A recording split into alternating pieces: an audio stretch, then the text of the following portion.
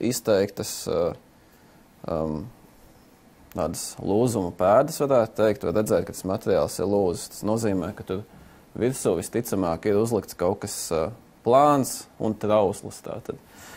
Um, Visticamāk, pēc pieredzes tas varētu būt šis nano pārklājums. Rīgas Tehniskās Universitātes pētnieks Ernests Jansons demonstrēja ierīci, ar kuras palīdzību iespējams noteikt, vai bobsleja un skeletona komandas sacensību laikā nav izmantojušas aizliegtus paņēmienus, lai uzlabotu kamanu slīdēšanu. Tas būtībā ir liels mikroskops, ar kura palīdzību, izdarot mazu dūrienu sliecē, ir iespējams noteikt, vai komanda bijusi godīga vai tomēr veikusi kādas manipulācijas ar sliecēm. Te mēs redzam uh, kvalitatīvu dūrienu bez vizuāliem defektiem, ja tā varētu teikt. Nav nekādu plīsuma pazīmju, nav redzami nekādi iespējami kaut kādi termiski apstrādāts lietu pazīmes, nav redzams. Nav redzams arī nekāds teiksim, smērielu pazīmes, kas būtu kaut kāda vadavīgs vai kaut kas tam līdzīgs. Ja. Līdz šim pēc sacensībām slieces tikušas pārbaudītas ar šādu ierīci. Tomēr tā vairs neatbilst mūsdienu prasībām, stāsta pētnieks Jānis Lunkevičs, jo tā nespēja, piemēram, noteikt, vai slieces nav pārklātas ar kādu īpašu nano pārklājumu vai termiski apstrādātas, kas ir aizliegts darbības. Ir vieta izaugsmē, teiksim, tā viņa tā metode nav tā, ka viņa ir zemē metama, bet viņai ir ļoti zināmas limitācijas, un šīs limitācijas neļauj izķert jau tādas augsta līmeņa manipulācijas, kas nu, ir tas, kas reāli dod tās sekundes simdeļas, kas arī izšķir medaļas bieži vien. Viņa ir nu, ļoti jutīga pret uh, cilvēcisko faktoru, respektīvi, ja es mērīšu, vai jūs mērīsiet, vai kāds cits.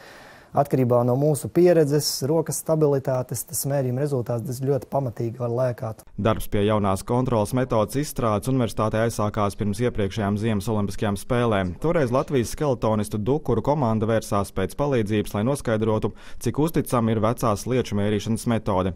Diezgan īsā laikā tika atrasts jauns risinājums, tomēr reāli dzīvē tas tā arī netika ieviests.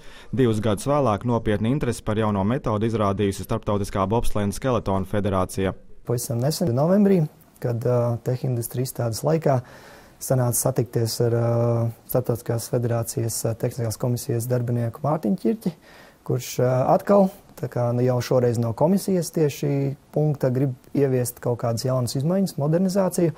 Un ļoti veiksmīgi apstākļu sakritība rezultātā mums vienkārši sanāca satikties, un uh, viņš ļoti ātri norganizēja to, ka jau pēc nedēļas pie mums viesojās pats uh, tehniskās komisijas vadītājs Kristofs Langens. Saruna ilgus piecas stundas. Pastāv iespēja, ka jaunās lietu kontrolas metode varētu tikt izmantota 2026. gada Ziemas Olimpiskajās spēlēs. Pat iekārta ražot Japānā, latviešu pētnieki izstrādājuši metodi, kas ar to ļauj ātri un bez cilvēku faktoru ietekmes pārbaudīt slieces.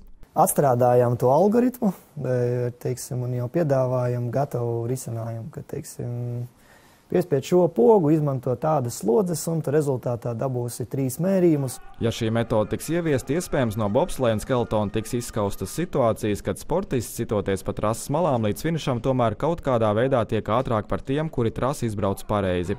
Ulds Birziņš, Niklaus Rubens, Latvijas televīzija.